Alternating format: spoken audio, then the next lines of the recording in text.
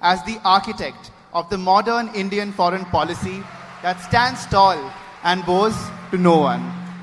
A trailblazing diplomat now turned into an astute statesman and politician with his effortless wit, humor, and charisma, he has also become a youth icon for every young mind at home and abroad. With him at the helm of India's foreign policy, we can all rest assured that Bharat will continue to scale new heights and will most certainly re-establish itself as the Vishwamitra and Vishwaguru of the 21st century. Ladies and gentlemen, it is an honor of a lifetime to now invite on stage the Honorable External Affairs Minister of India, Dr. S. Jaishankar.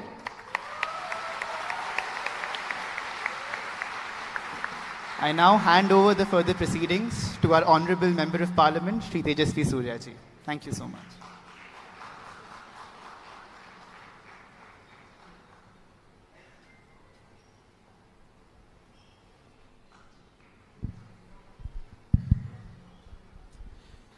ಎಲ್ರಿಗೂ ನಮಸ್ಕಾರ very good evening P S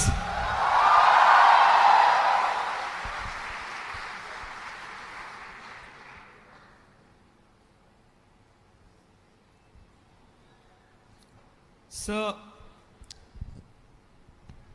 I have with me a very interesting book that uh, Dr. S. Jaishankar has authored, which is also very interestingly titled Why Bharat Matters. And over the course of the next 35 to 40 minutes, we will ask him a few questions around a few themes that he has expounded in this book, which is of great importance to all of us, especially the young of India. So, but before I delve into the very first question about the book, on behalf of all Bengalurians, especially the very aspirational Bengalurians, I want to thank you for uh, fulfilling a very long standing demand of the people of Bengaluru and people of Karnataka of having here a US consulate. Thank you so much for making it happen.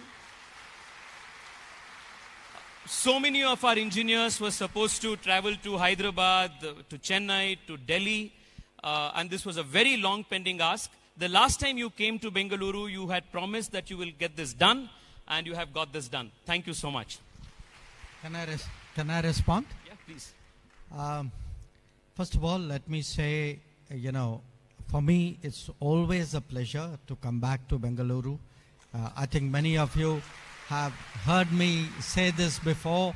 It's a, it's a city with which I have long personal association. Uh, so when I got this opportunity, obviously, uh, I seized it uh, immediately. Uh, I must also tell you, you know, uh, Tejasvi and I keep meeting in Parliament from time to time. And for last four and a half years, every time I met him, he would start saying U.S. consulate. Okay. So he's been single-mindedly after me. I think you even, I, at one stage to deflect him, I sent him to the American ambassador. Uh, and, you know, that was Ken Juster, I think. Huh? And said, go and tell him you have my support. So uh, I did that, sir. yeah, you know, I know. Uh, so, uh, so uh, I'm also really uh, very glad that we could make that decision during the Prime Minister's visit. Uh, and certainly, you know, this is today a global city. It is one of the great centers of tech in the world. And I think it's very natural there should be a U.S. consulate. So having now got that approved in principle, I will now go back and remind Ambassador Garcetti that he needs to set up shop here fast. Thank you so much. Sir, this uh, I had the opportunity to read this book over the last uh, few days. This book is of interest to any young person who is interested in world affairs. There is a lot of economics in this, there's a lot of geopolitics in this. There's a lot also, interestingly, Ramayana in this. Because uh, most of the episodes of current uh, geopolitics, uh, the developments in the world theater that you describe, there's an allegorical reference that you make to episodes from the Ramayana.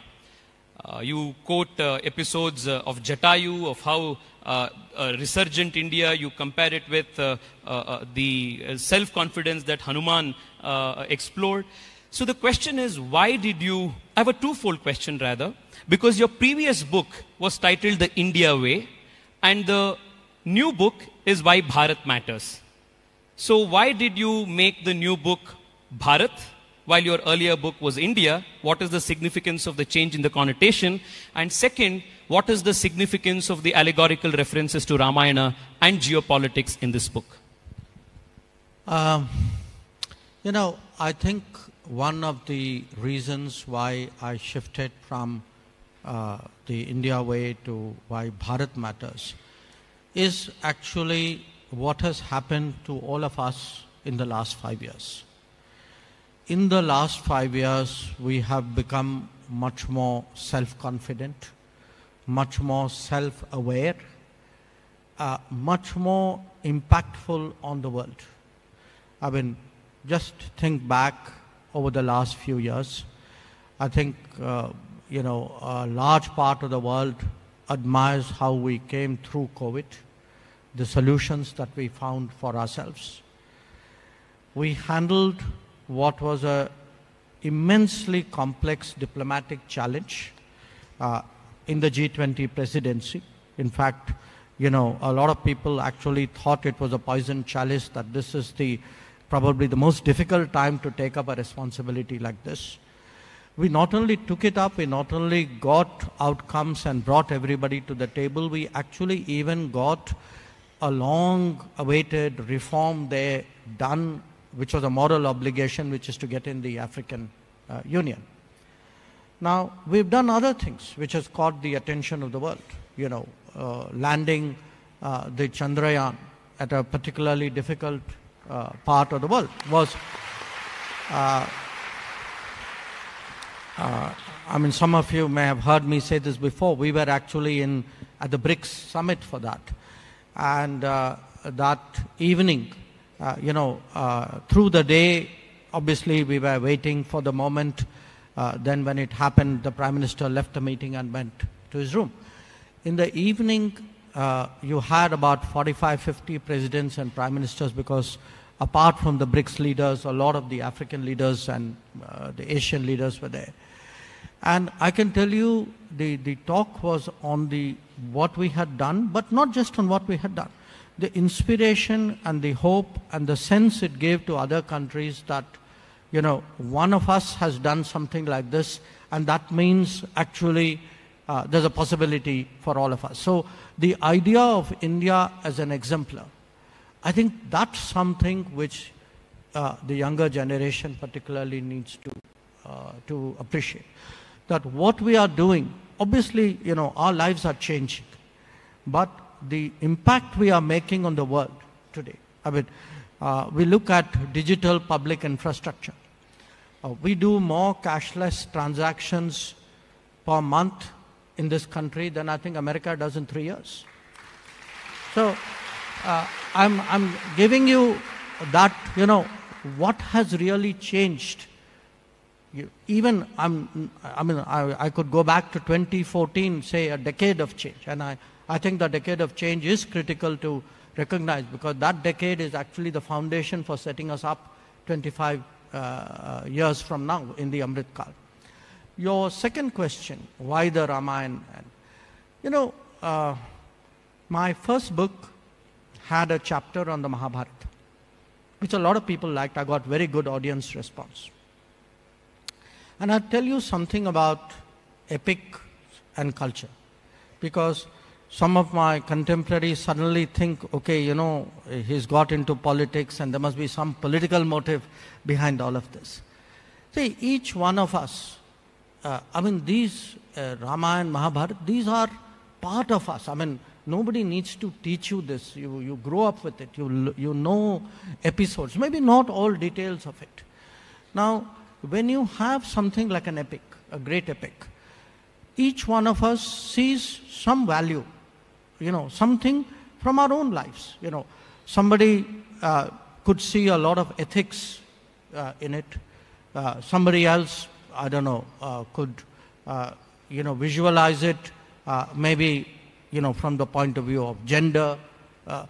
For me, as someone dealing with diplomacy, I looked uh, or I reimagined it or reread it uh, through the lens of world affairs, through diplomacy, through statecraft. And for me, if you look at the key concepts, you know, when, you know, what eventually what does Lord Rama do? He assembles a coalition. Assembling a coalition is the most difficult aspect of diplomacy in the world. What is Ravana's mistake? Ravana's mistake is strategic complacency. You know, he thinks he will be invulnerable, but he has forgotten that he must seek protection against humans because he thinks they won't, you know, they're too puny to impact uh, him. So, what do powers do? You know, big powers sometimes make those mistakes. They underestimate where the challenges come from. Or look, in fact, at journey of Rama himself. You know, you think of him as a rising power who's acquiring skills, who's tested, who volunteers to, you know, help with the world when in trouble, who actually goes to forests to protect rishis. You know, this today we would say is he's actually gone into global commons to do global good. I mean, that would be the parlance with which uh, we would use it today.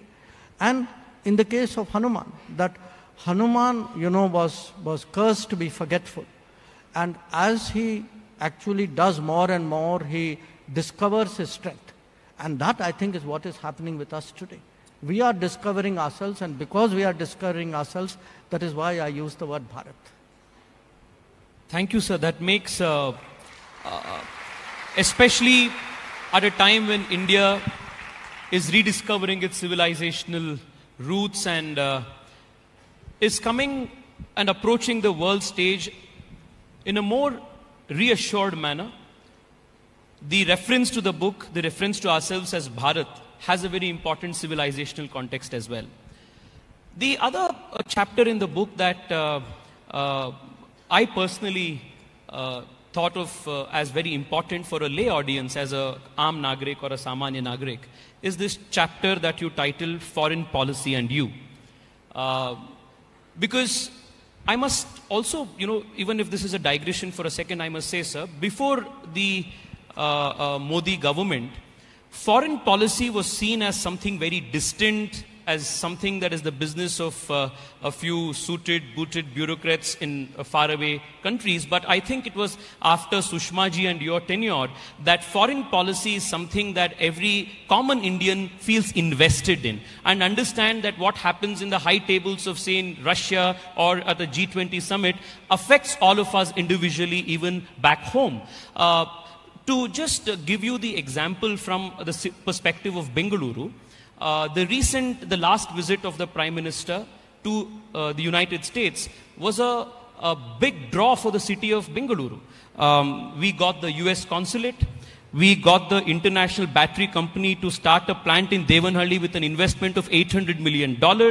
We got the uh, General Electric company to uh, partner with HAL to manufacture GE5 uh, F414 jet engines in India.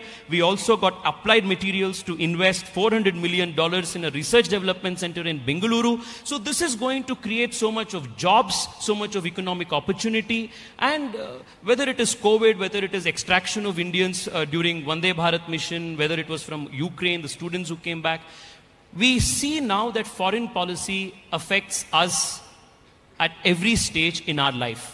Could you expound more on uh, how uh, a, a, common Indian, a Aam Nagrik, must invest himself and see foreign policy and what you do at those high tables at G20 or a COP26 or COP27 matters to the common Indian's life?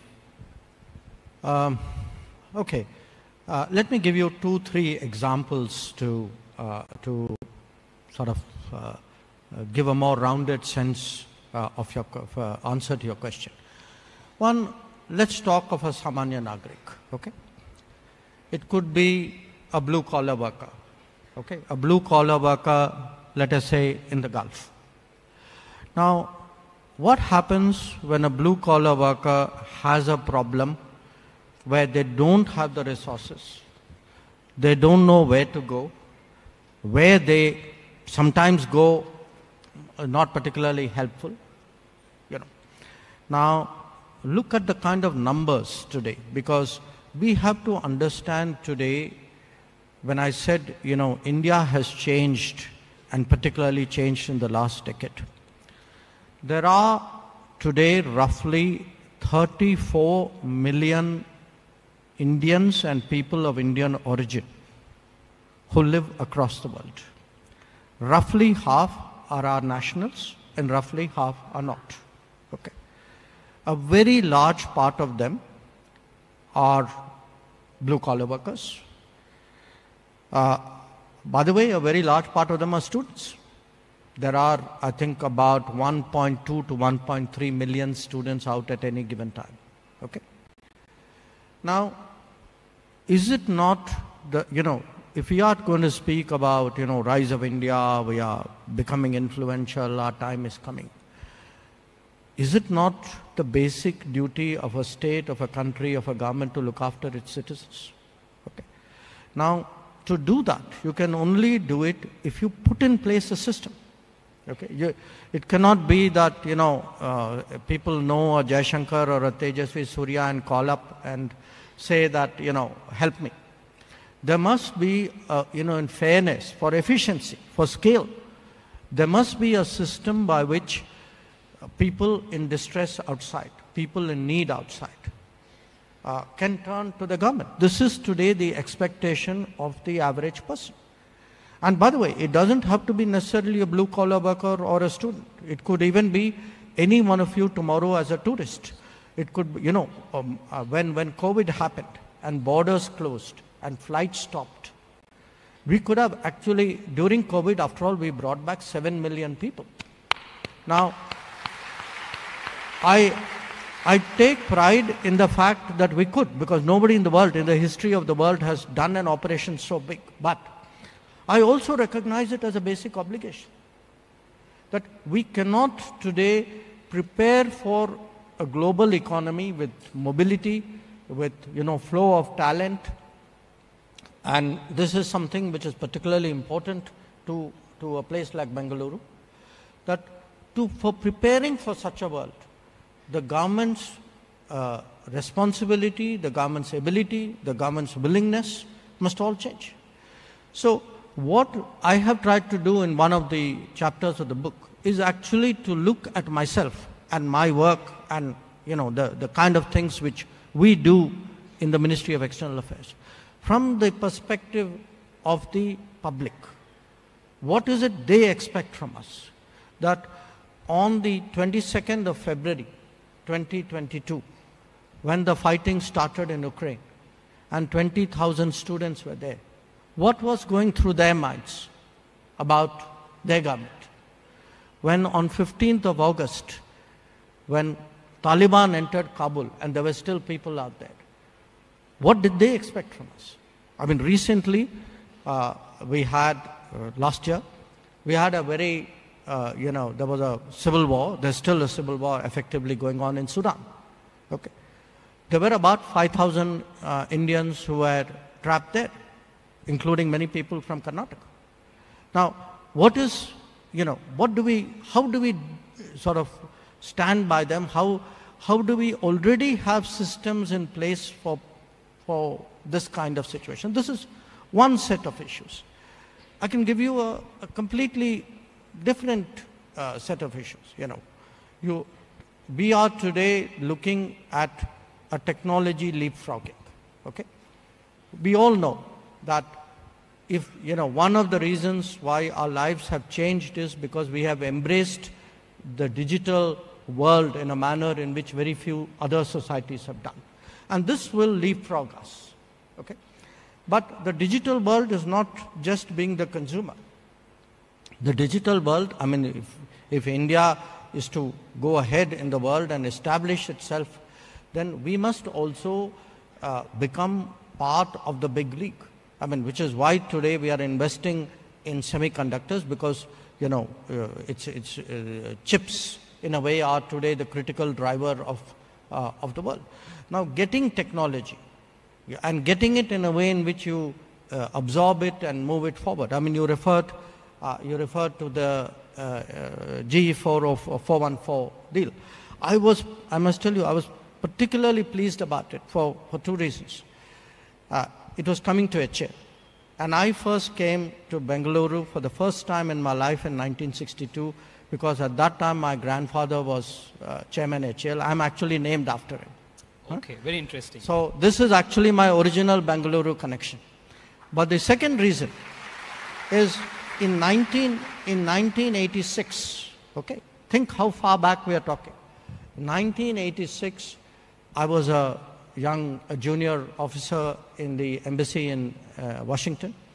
We actually had a team which included uh, uh, Dr. Abdul Kalam, uh, V.S. Arunachalam, Roddam Narasimha, who headed NAL here.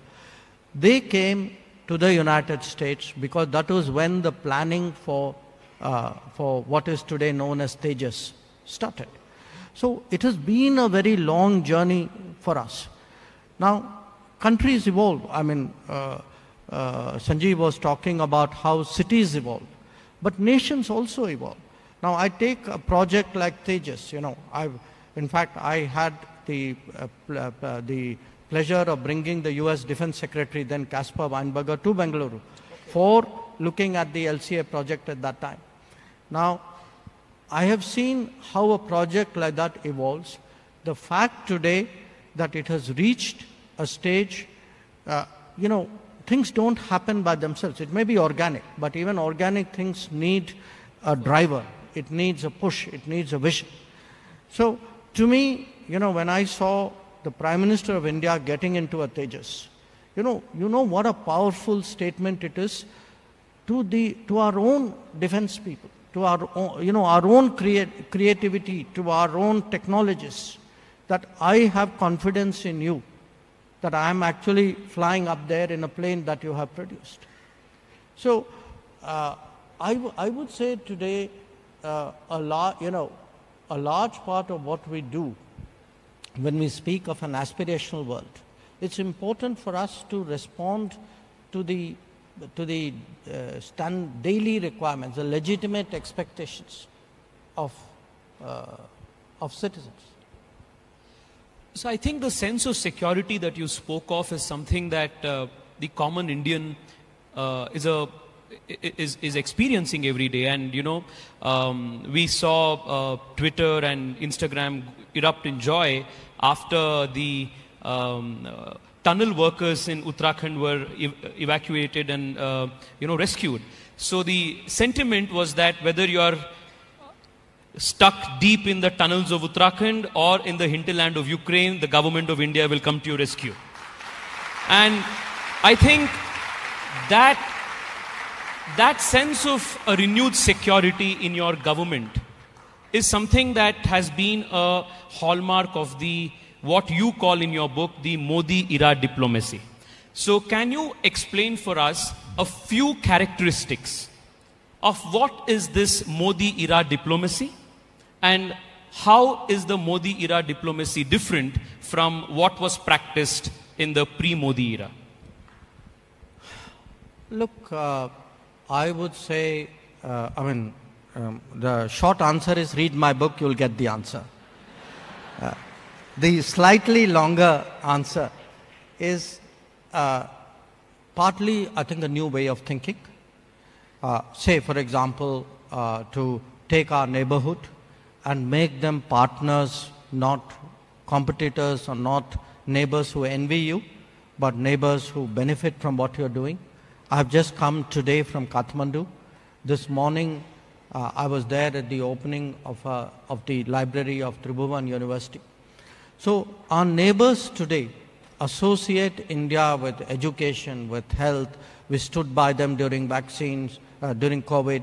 Uh, with Sri Lanka, we, we, we, we actually uh, were bold enough to put out uh, $4 billion to bail them out uh, economically. They see the new, uh, you know, the power linkages, the, so, so there's a whole, the, the change in the, in the manner of which we deal with the neighborhood. If we go beyond that, uh, I think uh, the idea that with the Gulf, with Central Asia, with the Indian Ocean, How do you, you know, because we are actually recapturing our history. That because of the partition, because of the, you know, those periods of decline uh, which uh, Sanjeev spoke about, which Gurumurthy also touched upon, we had stopped thinking of these regions. I mean, these are actually our neighborhood.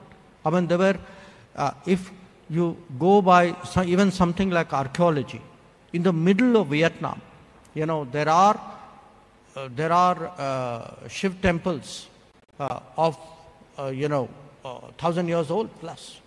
You know.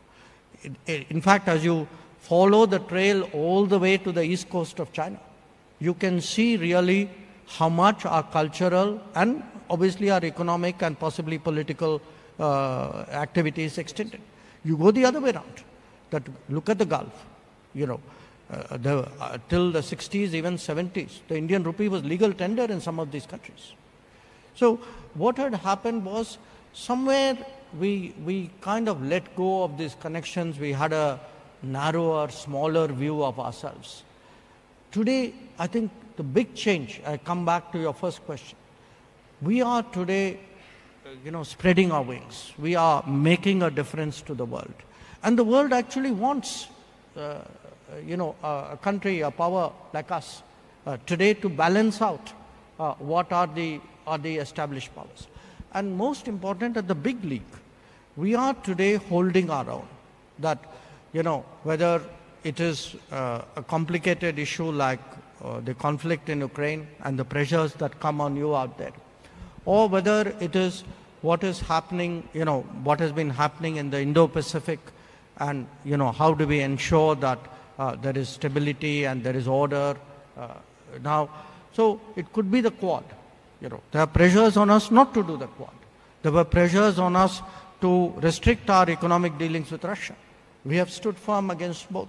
So I think it's a combination of a, a lot of this including you know dealing with the diaspora recognizing you know and look at the global issues climate change today technology even nutrition you know wellness.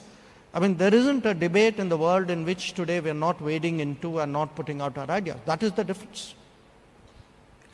And and uh, i think sir this uh, uh, renewed voice that india has found at a global stage uh, is also reflecting in the way that we are dealing with our immediate neighborhood, which also includes China.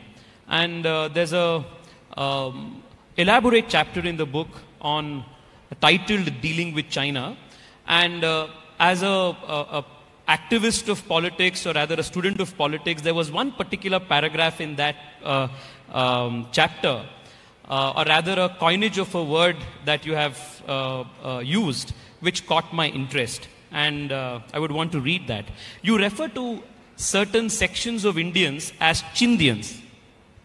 As Chindians. it's, it's not my phrase okay the inventor there's an inventor of the word chindia yeah. as a hint i will tell you he's in some other political party but i'll stop there And he also hails from Karnataka. huh So, so there's, so uh, Dr. Jaishankar vividly describes the characteristics of these Chindians, and this is what he says. Um, it is the actions more than the articulation of these Chindians that are of deeper concern. By consciously underrating the China challenge, any sense of preparation in India was undermined till the change of, change of 2014. The neglect of the border infrastructure was paralleled by an unwillingness to accelerate industrialization and create deep strengths. Even now, Make in India endeavors are attacked by them while ostensibly expressing concern at the trade imbalance with China. The combination of politics, policies, and populism lowered our national guard and still continues to target our national morale. Not surprisingly, this is about as far as we can be from the traditions of realism. So there's a sense of, uh, you know, if I, my understanding is that that the shift that has taken place post 2014 in the way we are dealing with China is that we are dealing with China with a perspective of a, a more realistic perspective than any romantic ideas or idealistic ideas about how it should be. two comments. One, look, in politics, uh, it's natural that everybody will try to do outdo their competitors in terms of the strength of what they say.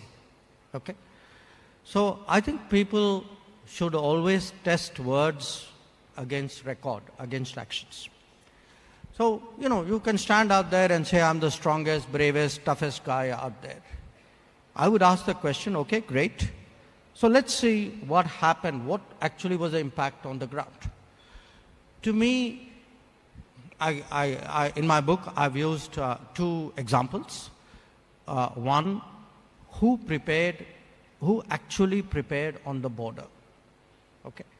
Now, on the border, uh, you know, there was a school of thought, a very dominant school of thought till 2014, saying if you leave your borders facing the facing China, unprepared and undeveloped, that's the best defense you can have. Okay. So, Now- in fact, the earlier Defense Minister A.K. Antony articulated this on the floor of the parliament. Now, if you, when you actually get into crunch time, what happens? You got to send your troops up there. Now, if you have decided that you're not going to uh, develop the border, or even if you're going to develop it, very frankly, your heart is not in it. You know, you're not giving it the priority. You're not making, you're not deploying the best technology. You're not pushing people to do that. So, if you ask me, you know, finally, look, the, the current government will say we are stronger. The previous government will say no, no, we are stronger. That, that's a debate that will happen in politics. But look at the cold facts. Today, the border development budget per year has gone up roughly from about 3,500 crores a year to 14, almost 15,000 crores, okay, per year.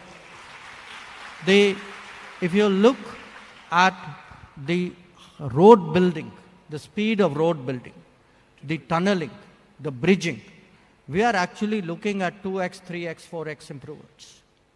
So, what is, I mean, if today we have been able to send and maintain troops out there, which we have done in those large numbers since 2020, it was only possible because actually on the ground you made a difference. Now, that's on the border.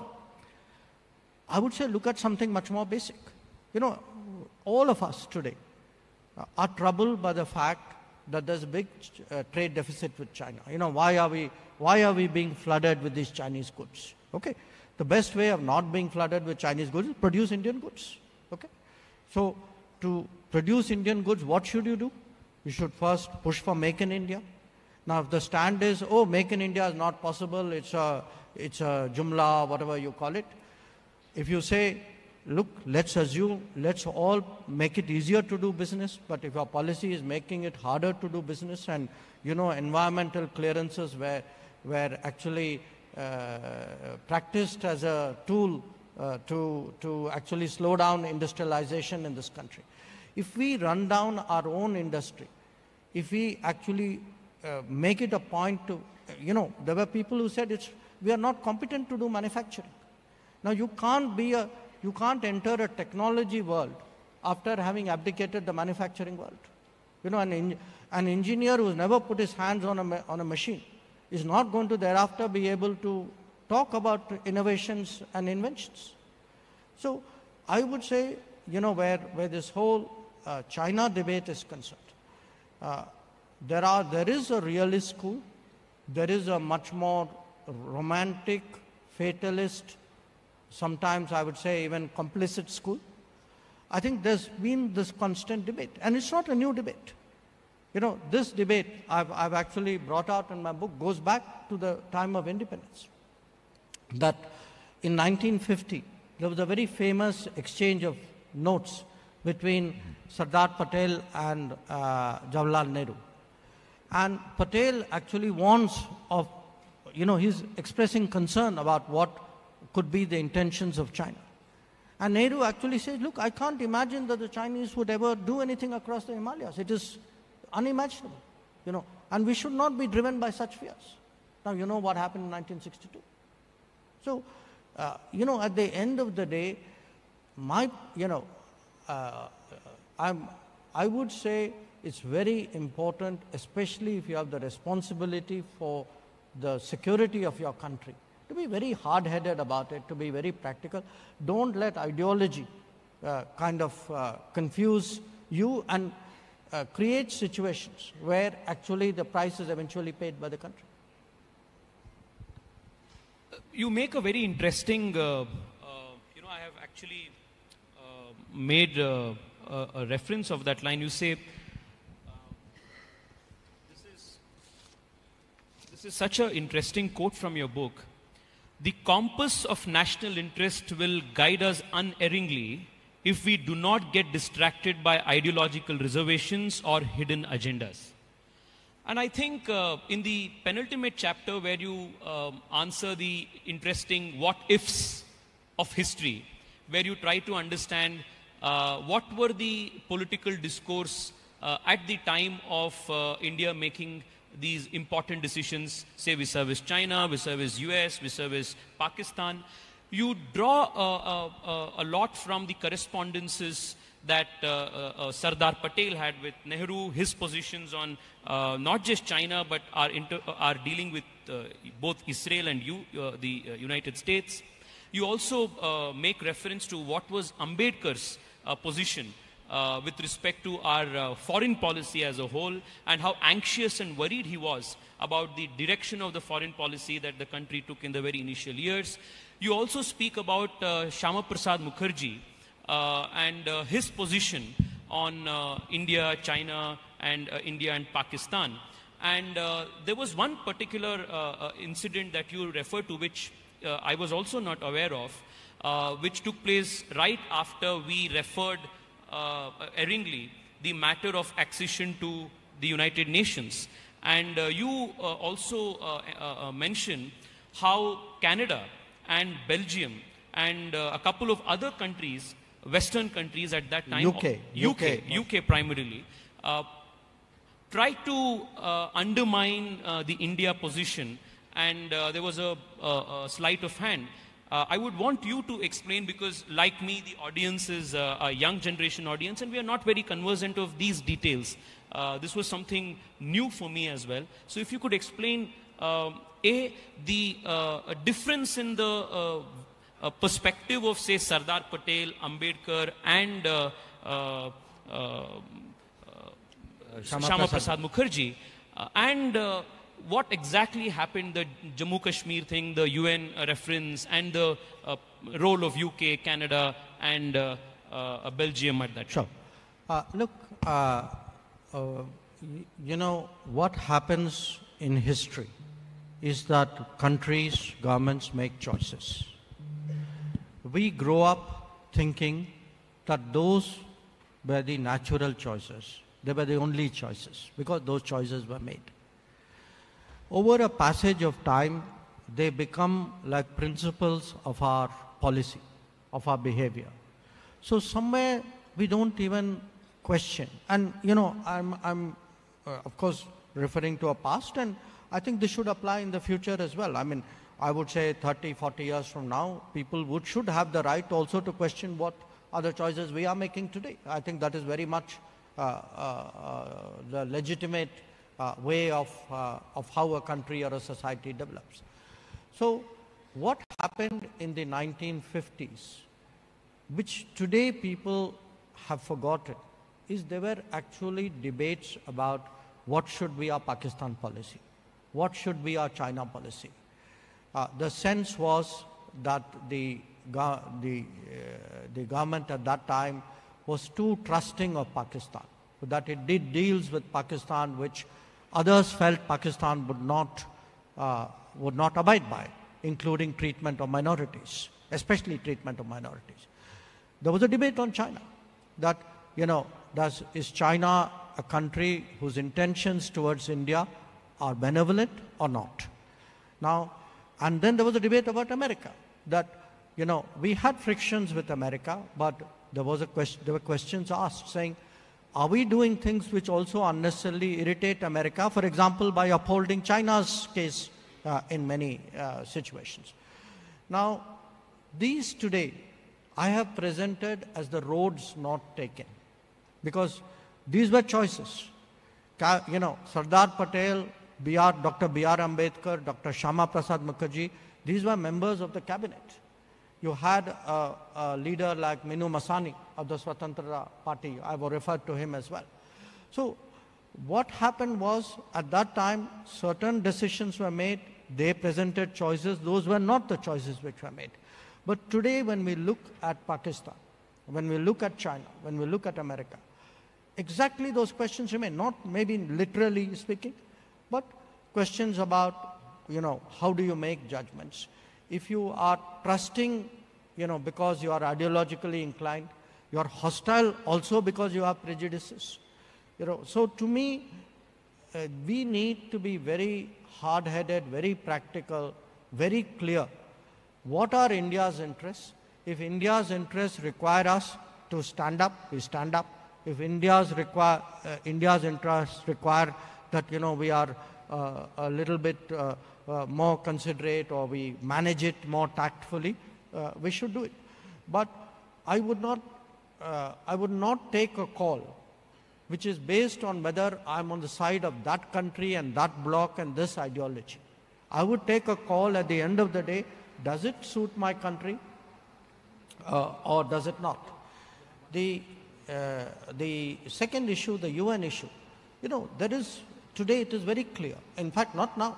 I mean, it was very clear by the 1970s that taking the Kashmir issue to the UN Security Council was a fundamental error because we, you know, you are taking it to a court where the judge, judges are all stacked against you. That these were Western countries who had a bias towards Pakistan.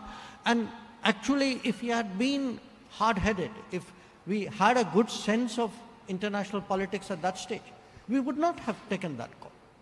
It was done, you know, as, a, as actually a misreading of what the world was about.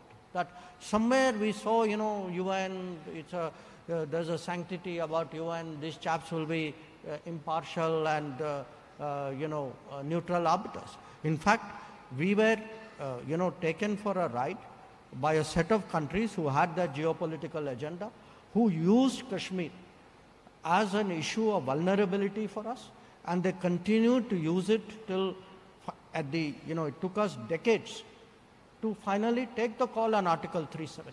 I mean, to me, Article 370 was not just a call within the country which we had to take, it actually has profound foreign policy implications. We have closed today a window of vulnerability which we were foolish enough to open in 1948.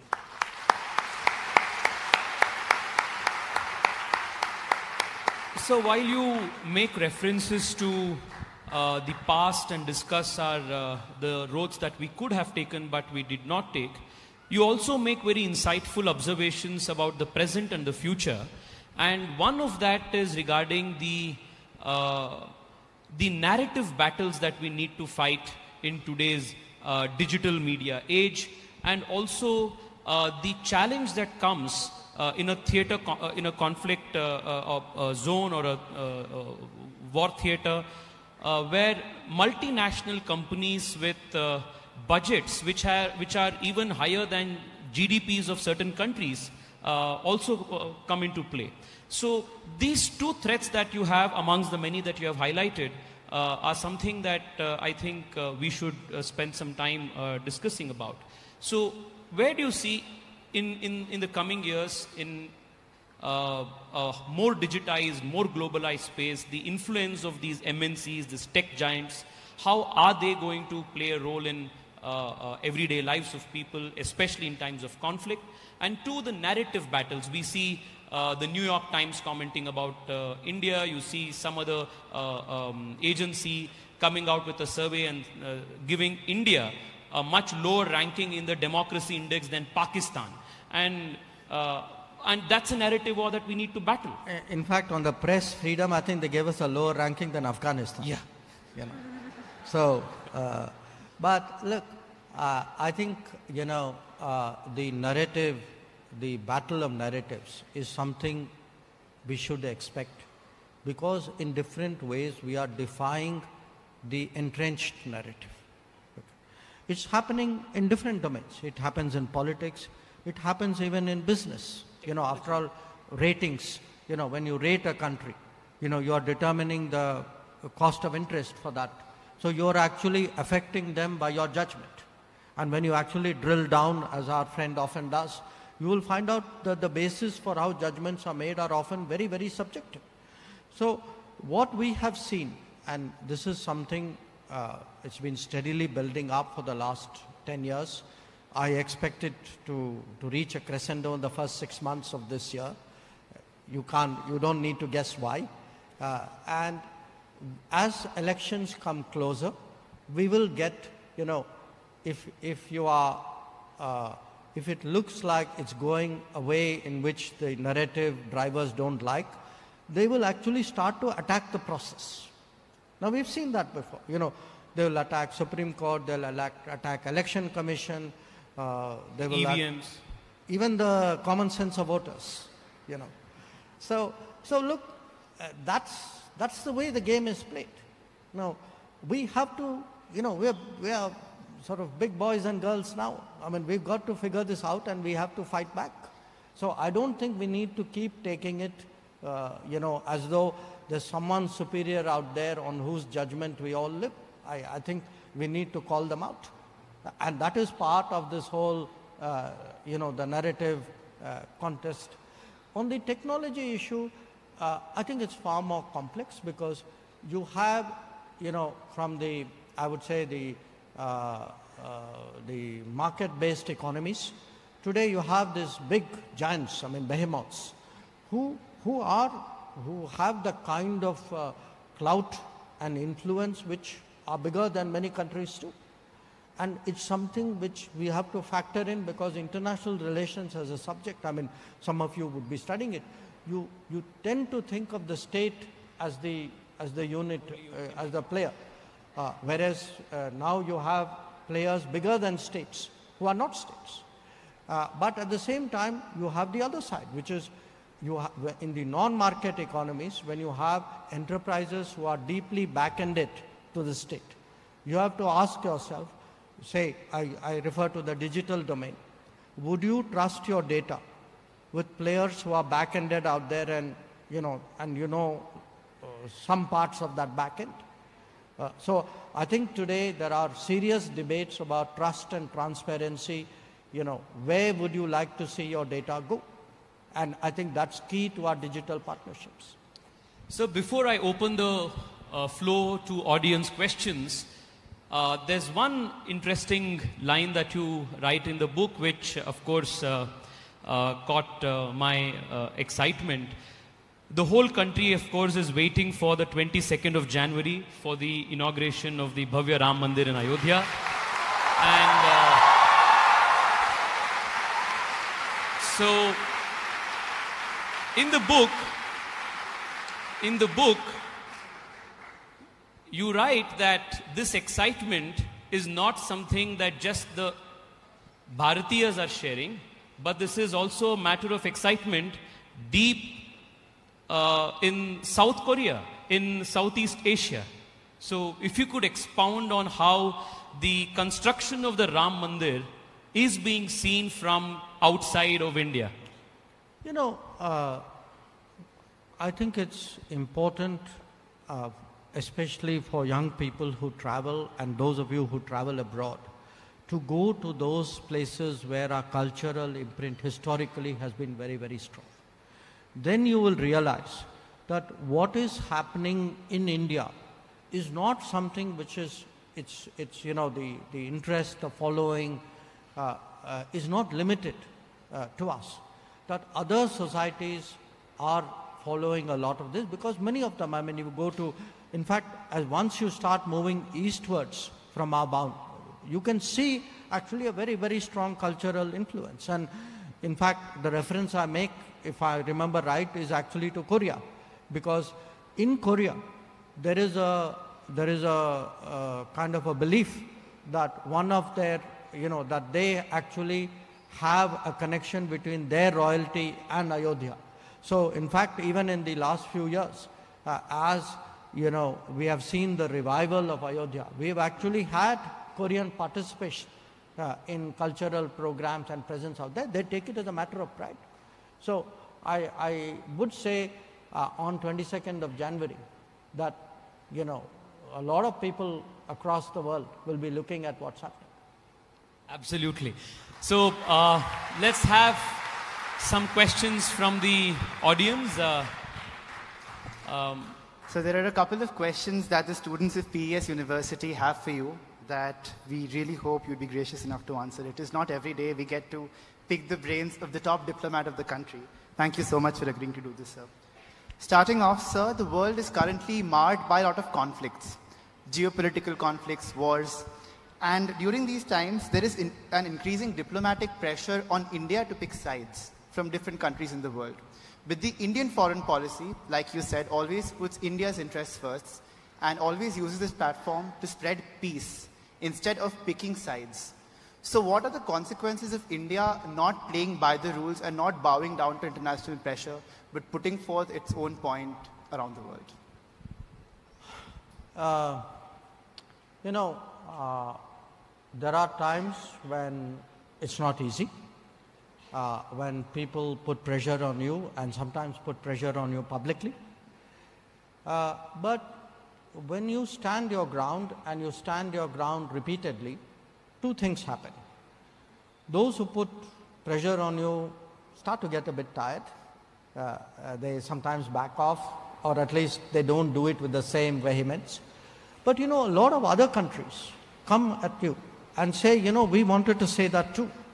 And we, you actually said or took a stand, which many of us wanted to do.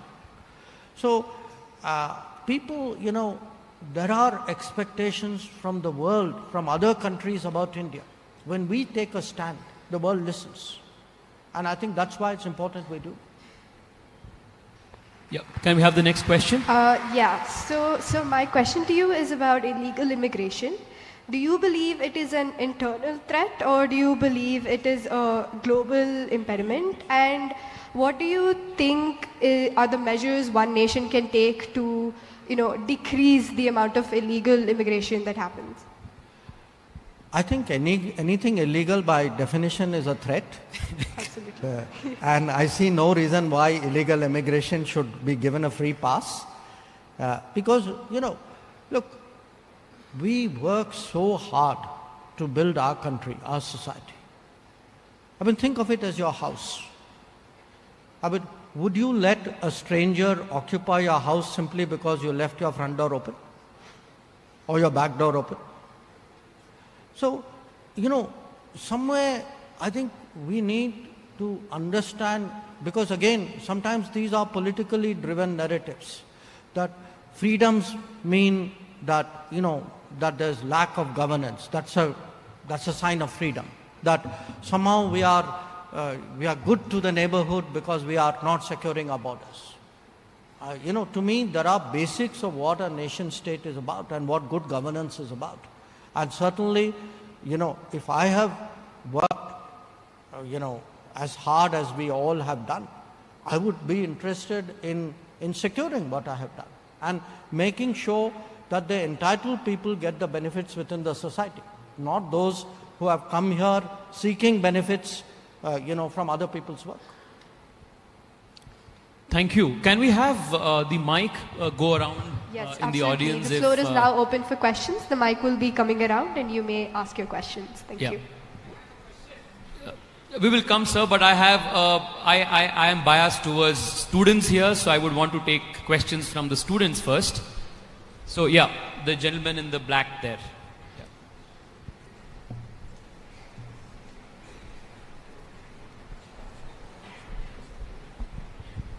So namaste sir, my name is Sumukha. I am a MCS student. So my question is to both of you. I don't know, uh, this will, won't be controversial. Will reservation end this country or country will end the reservation?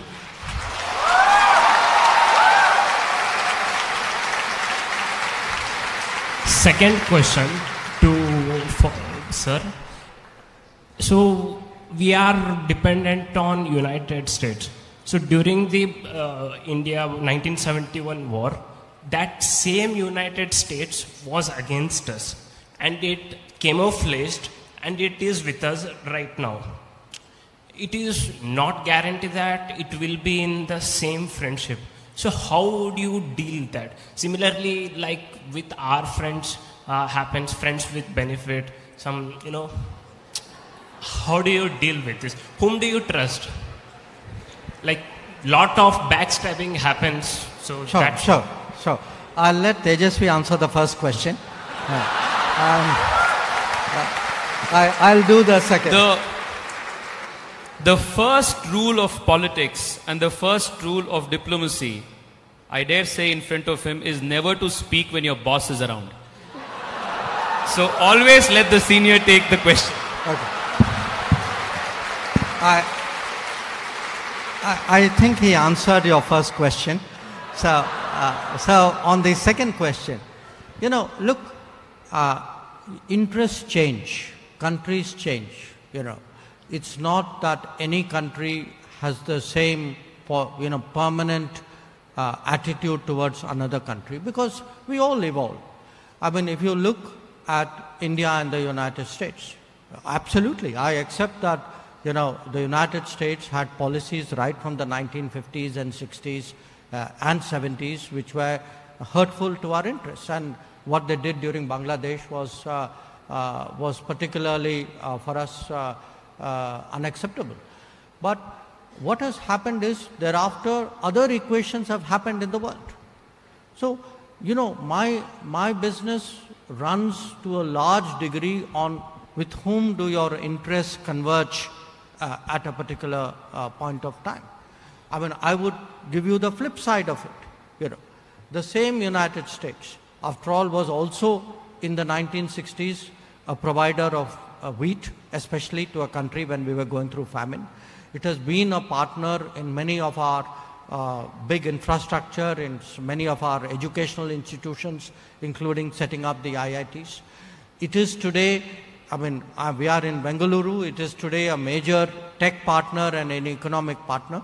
So I would, if I were today to make a judgment, because that is really what you're asking me, am I going to make my judgment say on what I see are my possible gains by working with the US for the next 20, 30, 50 years?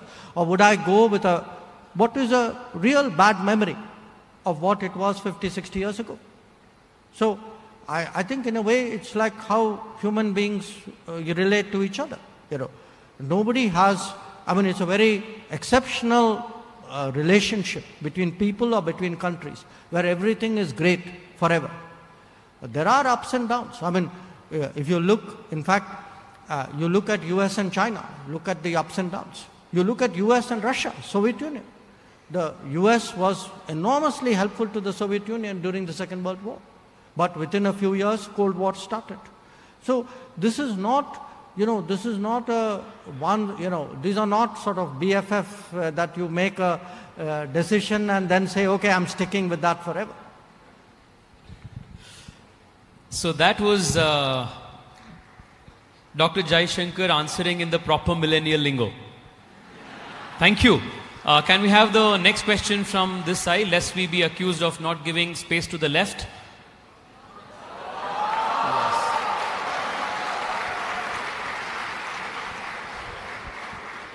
I think I need to report this that you are giving space to the left.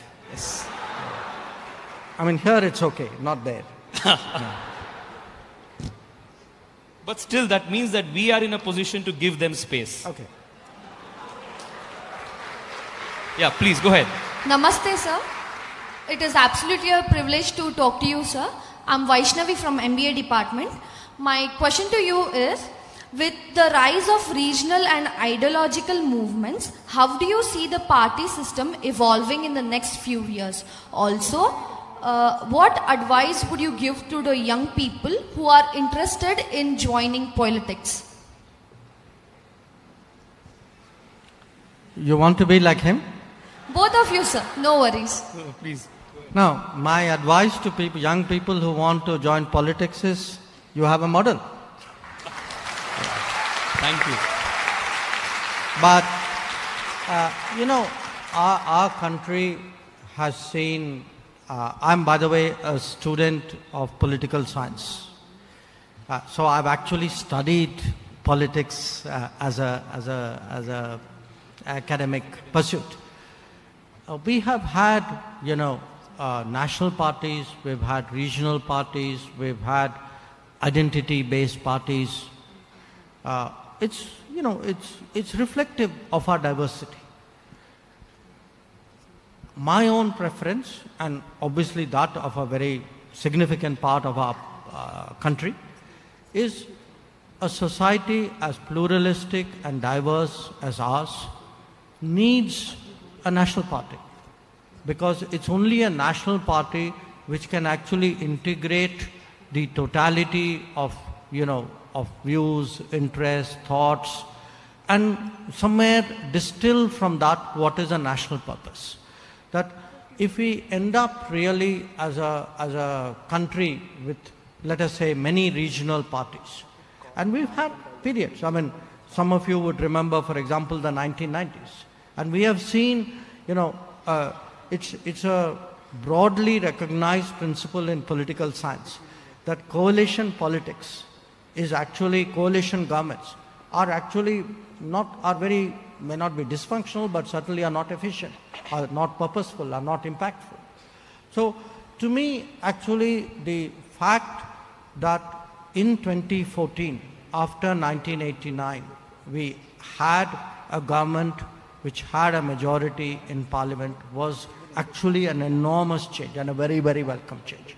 Because that has actually been the driver of all that we have seen uh, for the last 10 years. Thank you, sir. Uh, we'll have one last question. Um, so, because I'm afraid we are running out of time, so we will have uh, the question from here, if you could please. Uh, is there uh, somebody with a mic there in the first row? There is. Okay. Okay, so let's take this question.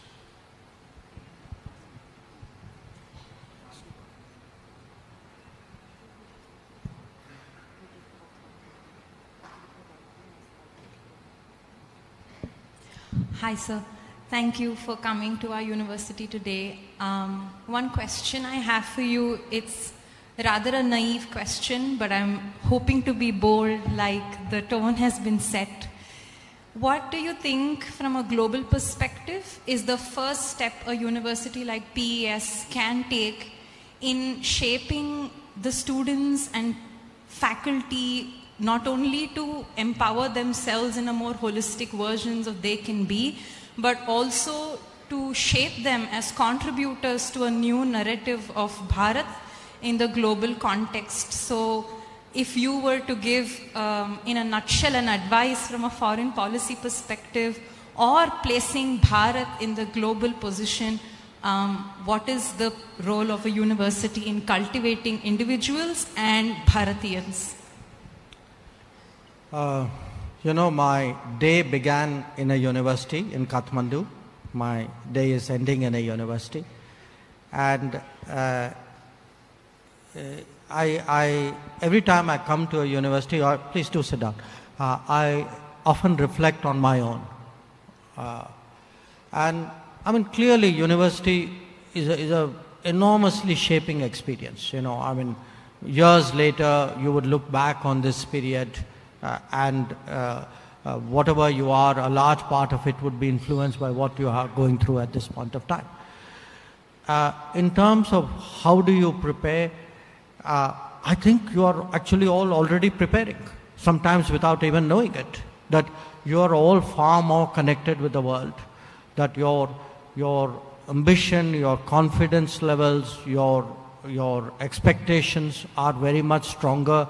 Uh, you know, uh, in fact, again, I'm, because uh, I, I go back to Sanjeev, what he said about uh, our, the earlier generations had a much more limited sense of what we could do and the risk taking, the, the connection to the world, the understanding of the world.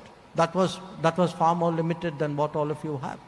So actually, if I had not advised, but if I had a wish, I would like to be you, you know.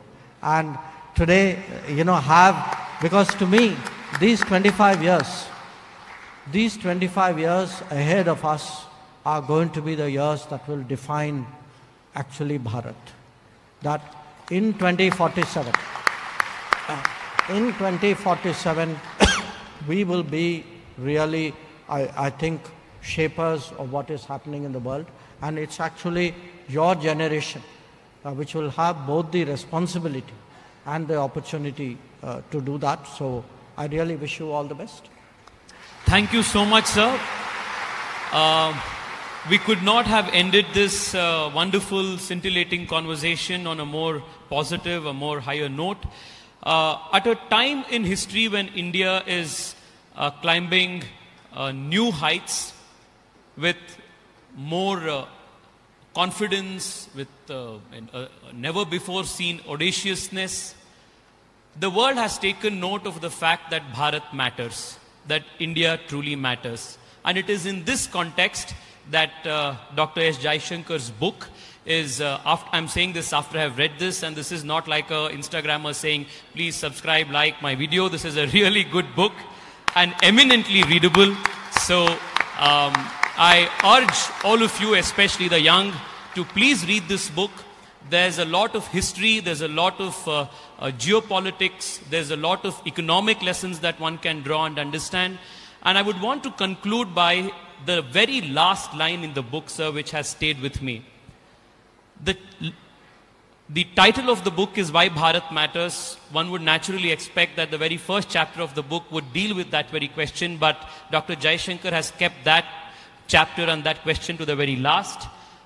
And in the very last sentence of the last chapter of the book, he sums up his answer why Bharat matters. With each passing day, it is becoming clearer that India matters because it is Bharat. Thank you so much. Thank you so much, sir, for gracing this occasion. I would now request our Honorable Pro Chancellor, Professor Jawahar Doraiswamy, and our Honorable Chief Operating Officer, sure. May I request the Honorable External Affairs Minister to please officially unveil his latest literary work, Why Bharat Matters, on PES University this evening.